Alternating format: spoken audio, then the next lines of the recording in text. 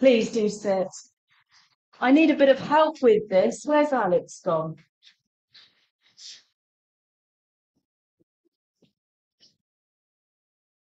Alex? You going to come and help? Alex is going to help me light the Advent candles. Partly because it's lovely having a child to do this, and partly some of you might remember that last time I did something like this, I nearly set the altar on fire.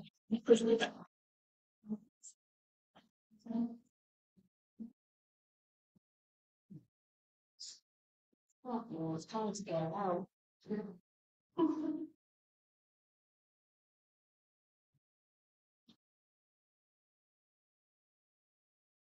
Now it is the time to awake out of sleep, for the night is far spent and the day is at hand. Now is our salvation nearer than when we first believed, for the night is far spent. Let us therefore cast off the works of darkness and put on the armour of light. I'm not doing a very good job with the light here. Thank goodness Jesus' light is a bit more consistent than mine. Right, Alex, let's have a drink.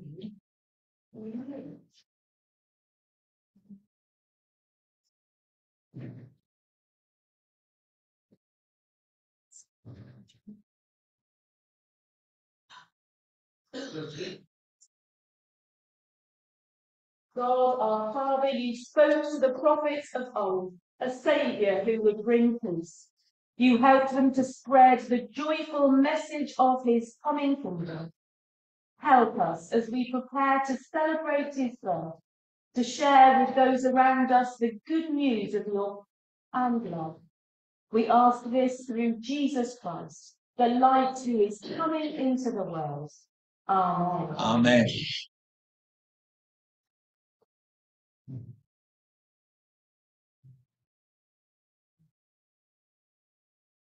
Thank you, Reverend Teresa, and thank you, Alex. I hope you all got the uh, copy of, of the service. It's in the, these orange books. We've broken away from Advent for today because of Freya's baptism.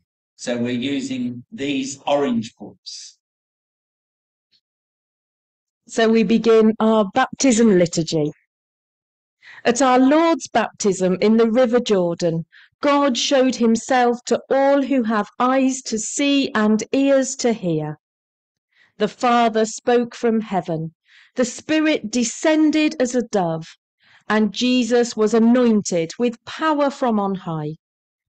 Here is the door of faith, through which we enter the kingdom of heaven.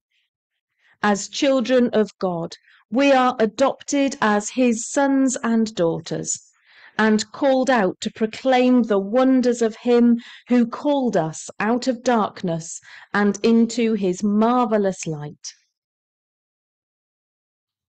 Let us pray. Heavenly Father, by the power of your Holy Spirit, you give to your faithful people new life in the water of baptism guide and strengthen us by the same Spirit, that we who are born again may serve you in faith and love and grow to be like your Son, Jesus Christ, who is alive and reigns with you in the unity of the Holy Spirit, now and forever. Amen. Amen. And we now sit for our Bible reading. The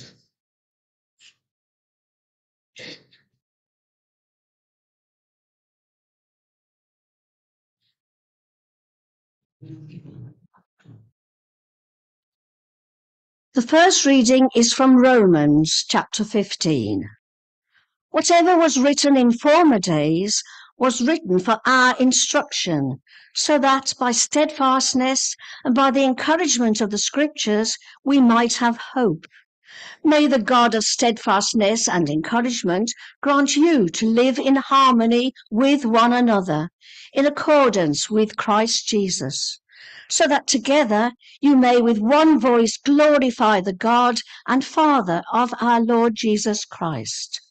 Welcome one another, therefore, just as Christ has welcomed you for the glory of God. For I tell you that the Christ has become a servant of the circumcised on behalf of the truth of God, in order that he might confirm the promises given to the patriarchs, and in order that the Gentiles might glorify God for his mercy, as it is written, Therefore I will confess you among the Gentiles and sing praises to your name. And again he says, Rejoice, O Gentiles, with his people. And again, Praise the Lord, all you Gentiles, and let all the peoples praise him. And again, Isaiah says, The root of Jesus shall come, the root of Jesse shall come, the one who rises to rule the Gentiles. In him the Gentiles shall hope. May the God of hope fill you with all joy and peace in believing, so that you may abound in hope by the power of the Holy Spirit. And this is the word of the Lord.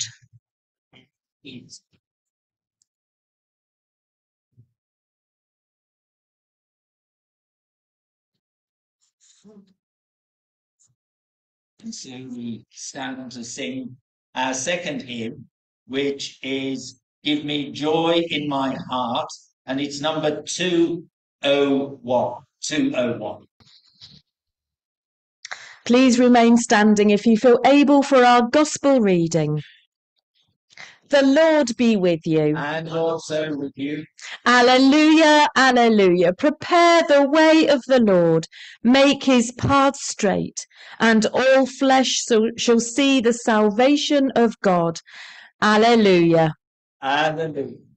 Hear the gospel of our Lord Jesus Christ according to Matthew. Glory to you, O Lord. In those days, John the Baptist appeared in the wilderness of Judea, proclaiming, Repent, for the kingdom of heaven has come near. This is the one of whom the prophet Isaiah spoke when he said, The voice of one crying out in the wilderness, Prepare the way of the Lord, make his path straight. Now John wore clothing of camel's hair, with a leather belt around his waist and his food was locusts and honey. Then the people of Jerusalem and all Judea were going out to him, and all the region along the Jordan, and they were baptized by him in the river Jordan, confessing their sins. But when he saw many Pharisees and Sadducees coming for baptism, he said to them, You brood of vipers, who warned you to flee from the wrath to come? bear fruit worthy of repentance. Do not presume to say to yourselves, We have Abraham as our ancestor. For I tell you, God is able from these stones to raise up children to Abraham. Even now the axe is lying at the root of the trees. Every tree, therefore, that does not bear good fruit is cut down and thrown into the fire. I baptize you with water for repentance but one who is more powerful than I is coming after me. I am not worthy to carry his sandals. He will baptize you with the Holy Spirit and fire. His winnowing fork is in his hand, and he will clear his threshing floor, and will gather his wheat into the granary, but the chaff he will burn with unquenchable fire. This is the gospel of the Lord. Praise to you, O Christ.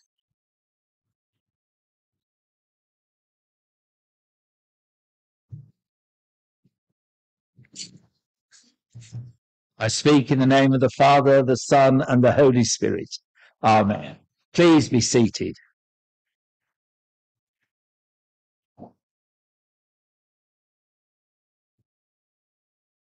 I did tell uh, Canon Janet when she asked me to take the service today that I uh, I probably won't preach, um, but she pulled a bit of a face, and um, so here I am. Uh, but it's very short.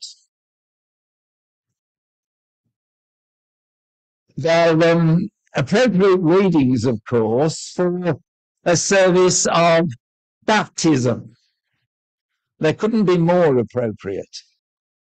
The readings once again remind us that the Lord's arrival is imminent. John the Baptist knew this and devoted himself to preparing the road for the one who would follow. And he gives us a serious message. Repent, for the kingdom of heaven is close at hand.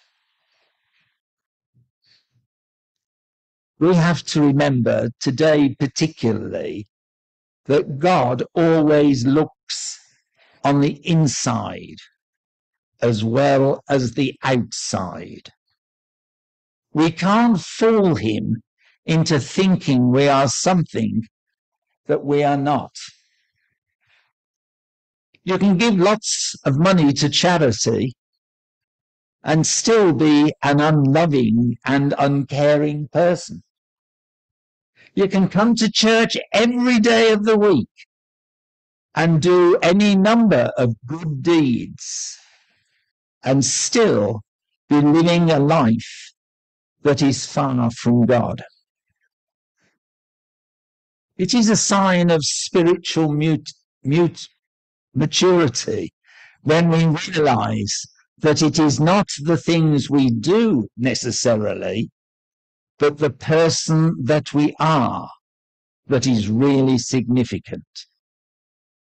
We are none of us good enough that we have no need of God's forgiveness.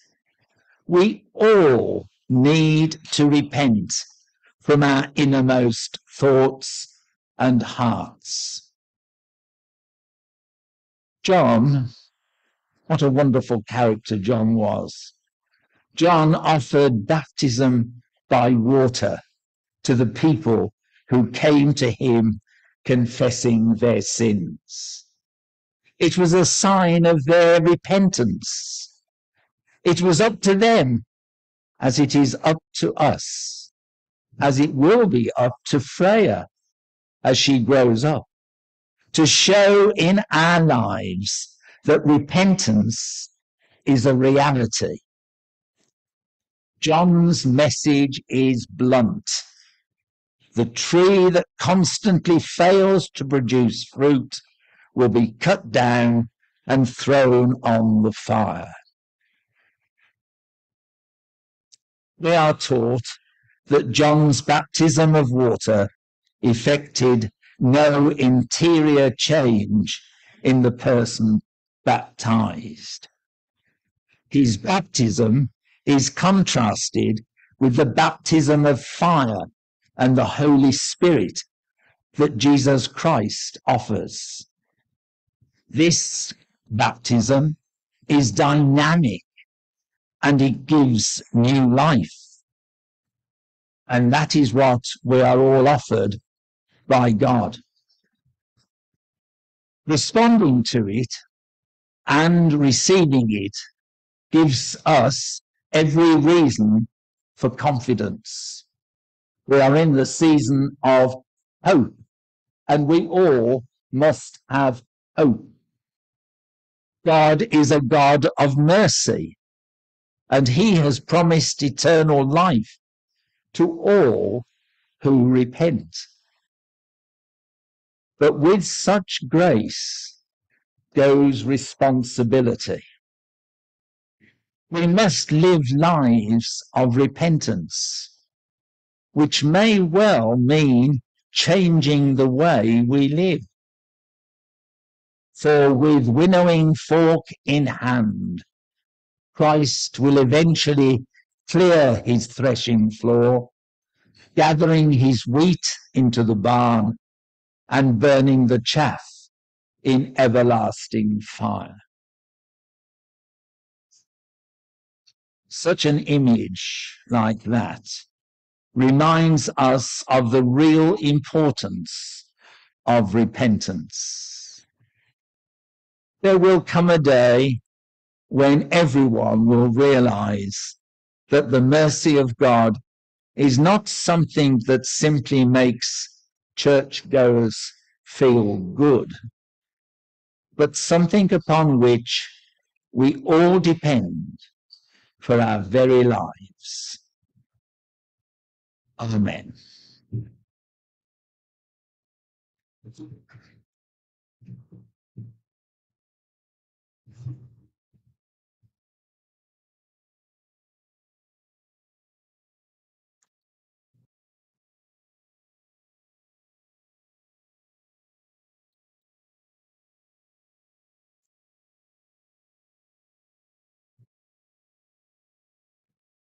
And so let us pray for those to be baptized. We pray for the church and for the world and for Freya as she begins her Christian journey.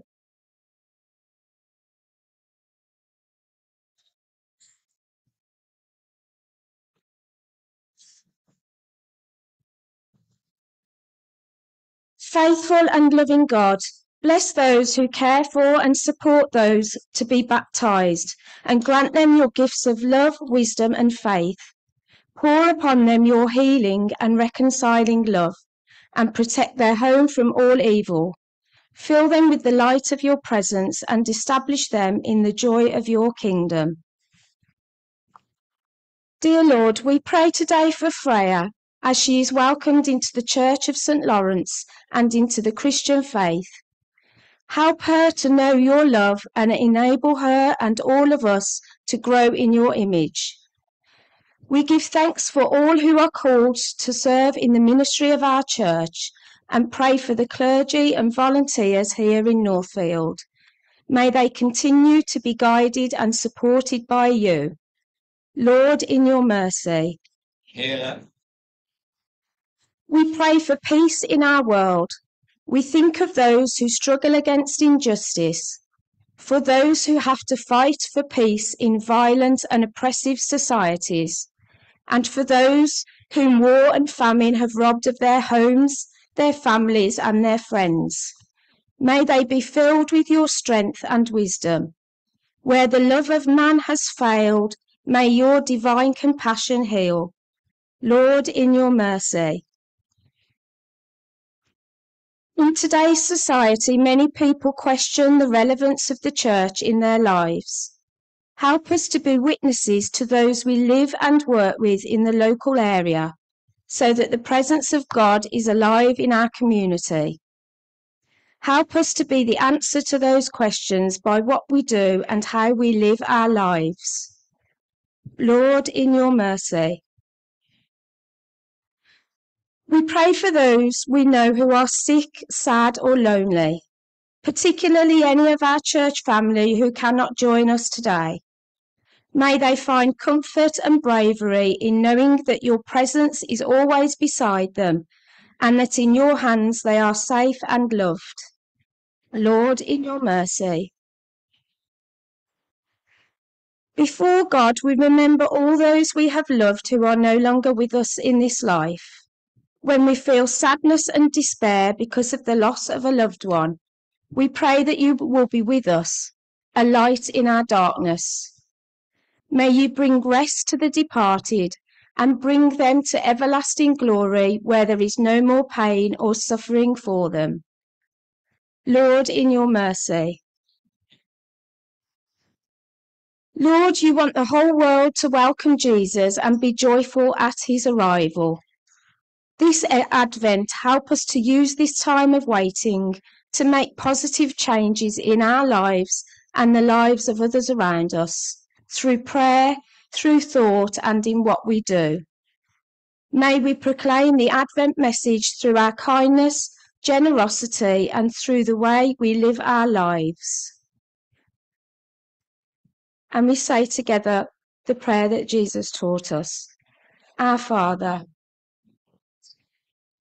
hallowed be thy, thy kingdom come, thy will be done, on earth as it is in heaven. Give us this day our daily bread, and forgive us our trespasses, as we forgive those who trespass against us. And lead us not into temptation, but deliver us from evil. For thine is the kingdom, the power, and the glory, forever and ever. Um,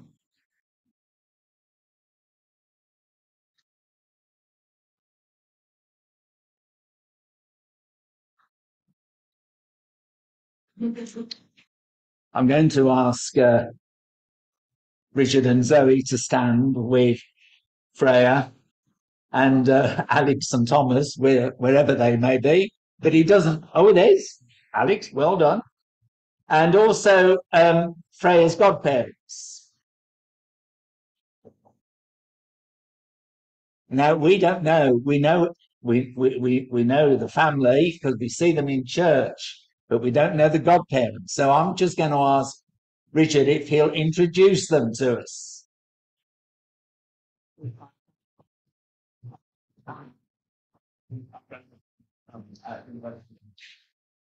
Welcome to you today. You've got a very special job to do, and I'm sure that you're really excited about it. It can be a bit expensive as well at times because that's right. Those of us that are godparents have to remember all kinds of things, and um, it, it can be a bit pricey. But you're welcome here today at St Laurence's uh, on this very special day for you and for Freya. We've got Anna in the middle there. We've got Jorge. He's Spanish. He's from Spain. He's come a long way. And we've got Rosie on the end. When you join any organization, you have to agree to follow the rules. Have we got any cubs or scouts or brownies or any? No? Have we got any old scouts or old old brownies? Oh, a few down here. Yes, yes. One or two. Well, you perhaps remember your promises that you made all those years ago. Well, today uh, I'm going to ask parents and godparents to make their pre- uh, promises for Freya. Jesus said, Let the children come to me. Do not stop them. We thank God for Freya, who has come to be baptized today. Christ loves her and welcomes her into his church. So I ask you all, all of you here today, will you support Freya as she begins her journey of faith? Will you help her to live and grow within God's family? And this, these questions now, the decision just for the godparents and the parents of Freya. We all wander far from God and lose our way. Christ comes to find us and welcomes us home. In baptism, we respond to his call. Therefore, I ask you, parents and godparents, do you turn away from sin? Do you reject evil? Do you turn to Christ as Saviour? Do you trust in Him as Lord? Now, most of us will like to gather round the font, which is at the west end of the church. Uh, if you're a younger person and you can't see because you're behind a large grown up person, please come to the front so you can see what is happening. There's nothing more frustrating than being in church and not being able to see what's going on. So we're going to go to the West End, to the font, and we're going to sing on the way. I have decided to follow Jesus. on page nine. Parents and godparents, it is your duty and joy to tell Freya of her baptism and unfold to her the treasure that she has been given today. By the grace of God, may you tell Freya about the love of God, and by prayer and example, bring her up in the life and worship of the church, so that in due time she may come to make her own response in faith and love and to share in the communion of the body and blood of Christ. There is one Lord, one faith, one baptism. Freya, by one Spirit, we are all baptized into one body. We welcome you into the fellowship, saying, Heavenly Father, we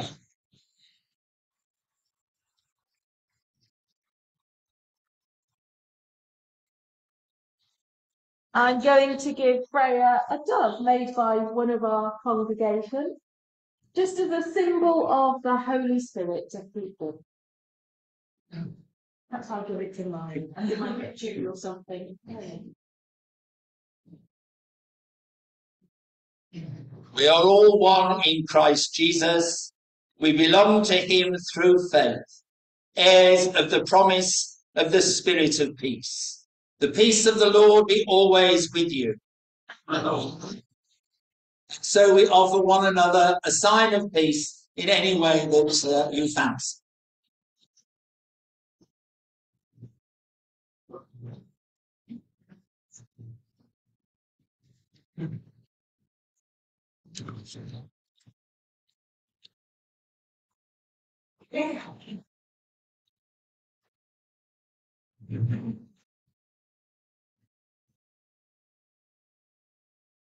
The hymn for the offertory is number 406. Long ago, prophets knew. 406.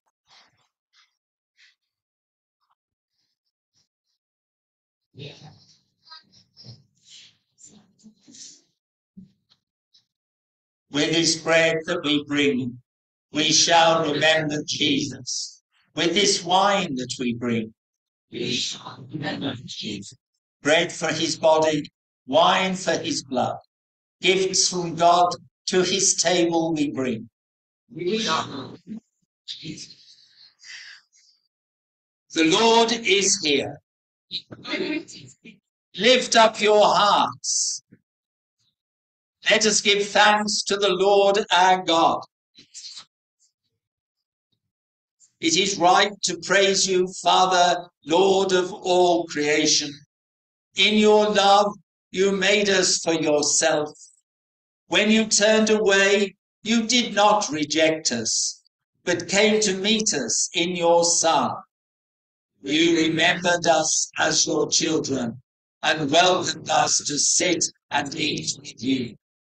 In Christ, you shared our life that we might live in him and he in us. He opened his arms of love on the cross and made for all perfect sacrifice sin. On the night he was betrayed at supper with his friends, he took bread and gave you thanks. He broke it and gave it to them, saying, Take, eat. This is my body, which is given for you. Do this in remembrance of me. Father, we do this in remembrance is what is. At the end of supper, taking the cup of wine, he gave you thanks and said, Drink this, all of you. This is my blood of the new covenant, which is shed for you for the forgiveness of sins. Do this in remembrance of me. Father, we do this. His blood is shed as we proclaim his death and celebrate his rising in glory. Send your Holy Spirit, that this bread and this wine may be to us the body and blood of your dear Son. As we eat and drink these holy gifts, make us one in Christ and risen Lord. With your whole church throughout the world, we offer you this sacrifice of praise and lift our voice to join the eternal song of heaven. holy. The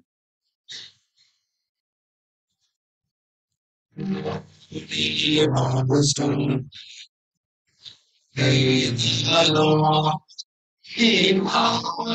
the forever adored.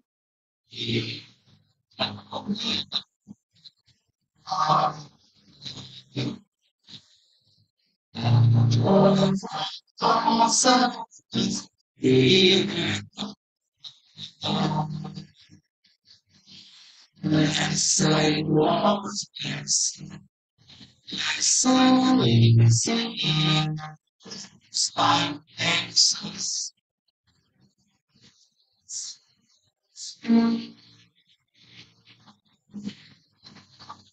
We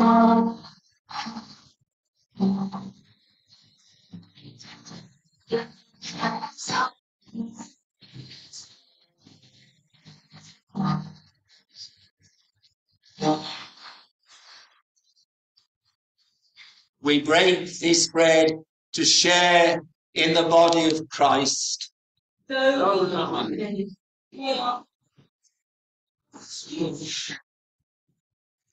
Mercy.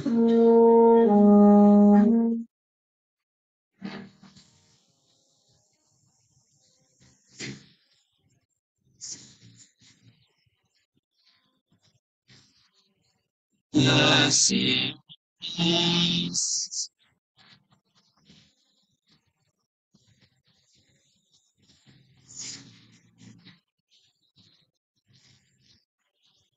Mercy. Peace.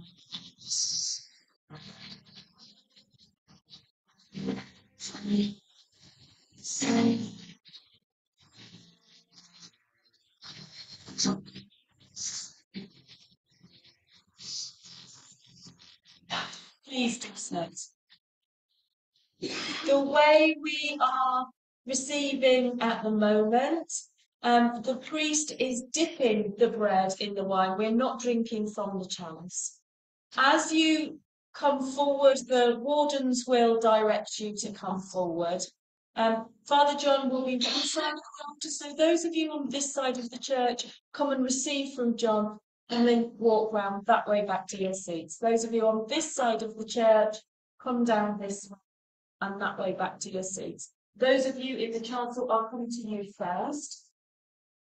If you don't normally receive the bread and the wine, if you haven't been baptized, do please feel able to come forward for a blessing. Father John and I would love to pray over them.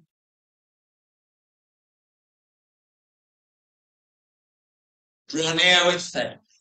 Receive the body of our Lord Jesus Christ, which he gave for you, and his blood, which he shed for you. Eat and drink in remembrance that he died for you, and feed on him in your hearts by faith with thanksgiving. Page 14 of those orange books. Eternal God, our beginning and our end, preserve in your people the new life of baptism. As Christ receives us on earth, so may he guide us through the trials of this world and enfold us in the joy of heaven, where you live and reign, one God, forever and ever. Amen. And just a few moments of quiet that we may pray for Freya as she begins her Christian journey with her mum and dad, Richard and Zoe, with her two brothers, Alex and Thomas.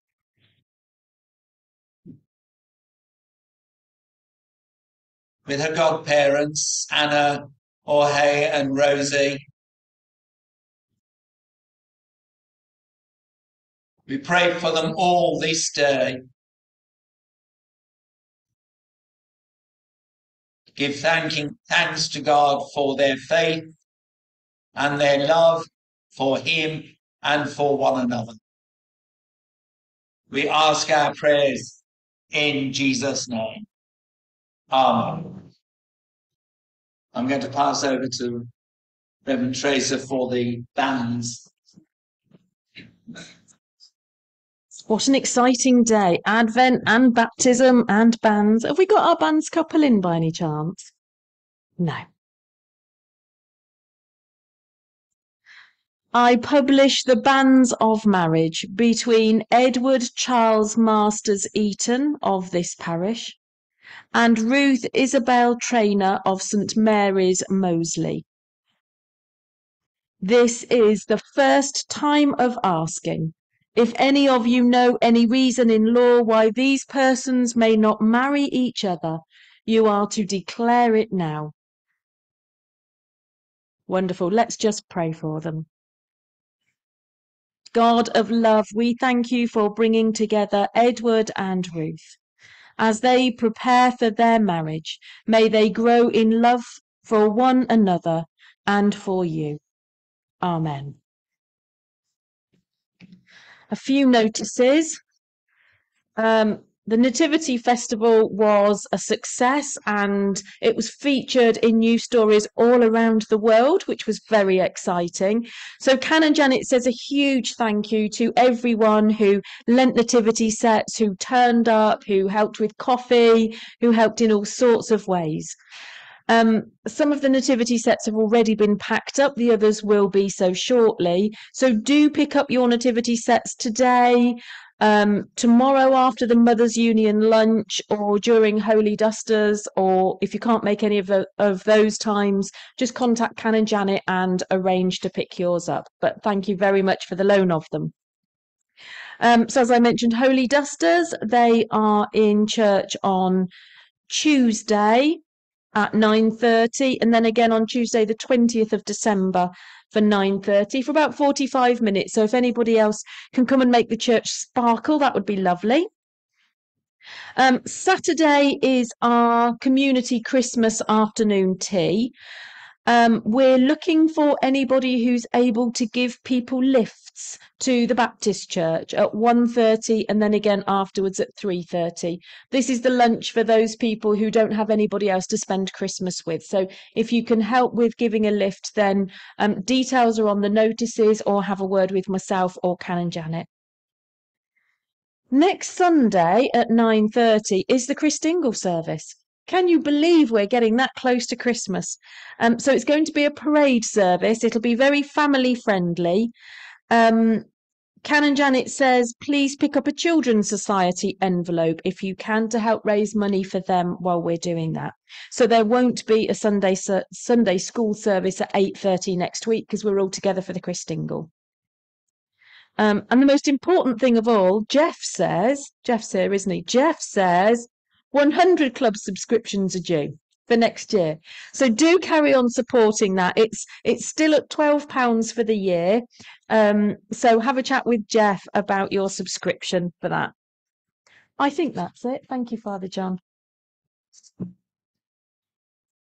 I'm going, to, we're on page 14. I'm going to ask you to stand for the blessing and then I'd like you to sit down again uh, for the, the lighted candle.